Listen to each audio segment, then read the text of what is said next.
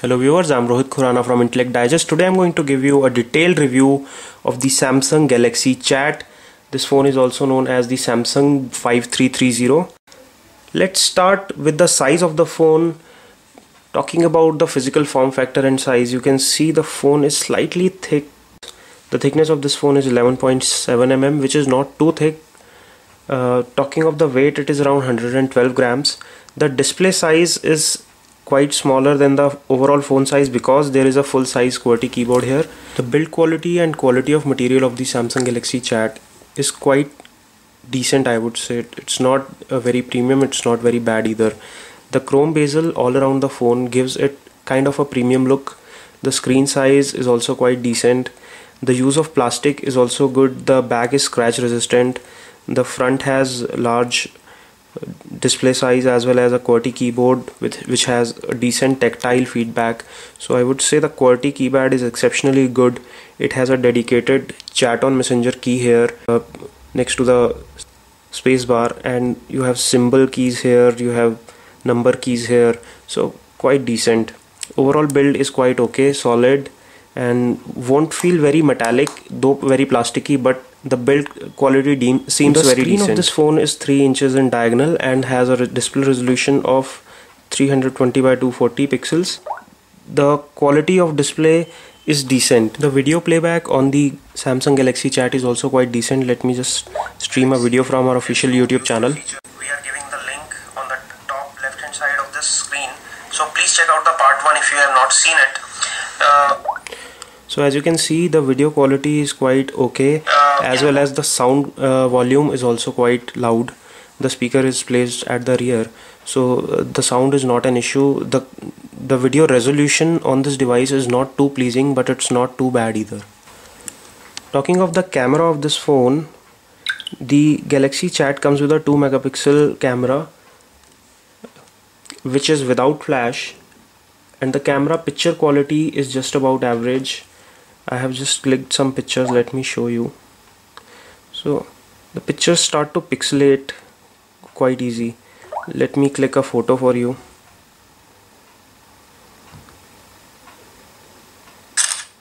So I just clicked a picture of the earphones of this phone and as you can see it starts to pixelate too soon. So the quality of camera is quite average. So if you are considering this phone for the camera performance I would not recommend this one. Also it does not have a front facing camera. These are some sensors here. So you cannot do a video chat using the front facing camera on this phone. The call and signal quality on this phone is also quite decent.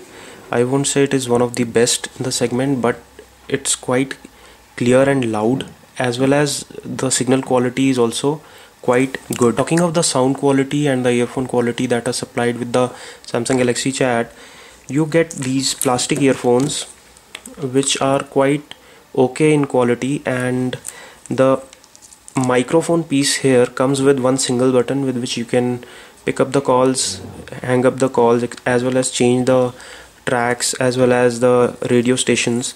The jack is a 3.5 mm standard jack so you can replace uh, these earphones with some other phones which you like to use.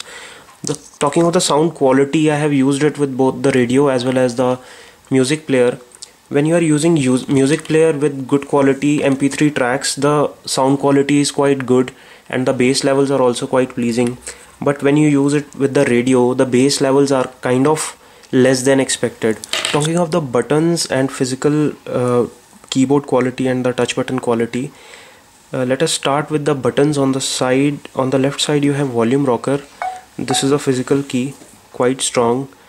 On the right hand side you have the power or wake up key and on the front just below the screen you have three touch buttons. This is the menu button home button and back button. And below that you have a full size QWERTY keypad. The keypad is quite responsive and uh, the tactile feedback of the keys is quite good. The touch buttons are also quite good and responsive. So the buttons touch screen as well as the quality of all the uh, touch as well as the physical buttons is quite good on this phone. Since the display is not too large so the battery is also accordingly small in capacity. It's 1200 milliampere hour battery which gives a decent talk time of up to 14 hours on 2G network and up to 5 hours on 3G so these are the claim numbers but in the real life also the battery performance is quite good. We have found that this device does not consume too much of battery since it runs uh, latest version of android as well as the display brightness as well as quality and resolution is also not too high high end side. So the battery life is quite decent on the phone. This phone is powered by an 850 megahertz processor has 445 MB of RAM as you can see in the task manager which is quite decent talking of the memory user the total is 4 gigabytes out of which 2 gigabytes is used by the phone for the Android and as well as the OS and 2 GB is available to the user you can increase the memory by adding an SD card of up to 32 GB in capacity. Let me run you through the software interface as well as the software version of this phone. It is powered by the Android ICS or the ice cream sandwich or version 4.0 whereas the latest version is Jelly Bean 4.1 in some countries this phone gets the 4.1 update but we don't have the update with us so we are not too sure whether we get it or not but the Android ICS or the Android 4.0 is already pre-installed in this phone out of the box. The Galaxy Chat comes in white as well as black color and this phone comes in single SIM option only as of now. We are running an Antutu benchmark test on this device. As per the benchmarking test, the score on the Antutu version 3 is 4242 which is quite decent in this price segment. This phone is priced at around 8000 rupees in India. Let me also show you the box contents that you get with this phone. So this is the main phone unit the battery we have already installed inside. Apart from this you get in the box a set of earphones. These are the 3.5 mm earphones which I already shown you along with it you get a USB cable which is the normal USB to micro USB and you get a USB charger which is separate. So this is the benefit that you get the charger as well as cable separate. So you can charge the phone with the computer using the cable and you can plug this charger to the wall so whenever you need to charge it. This is all which comes in the box so we have shown you all the details and various aspects. Let me summarize it for you. This phone has a good build quality decent uh, performance in its size. The screen size as well as the keyboard is quite good. The camera is average I would say slightly below average.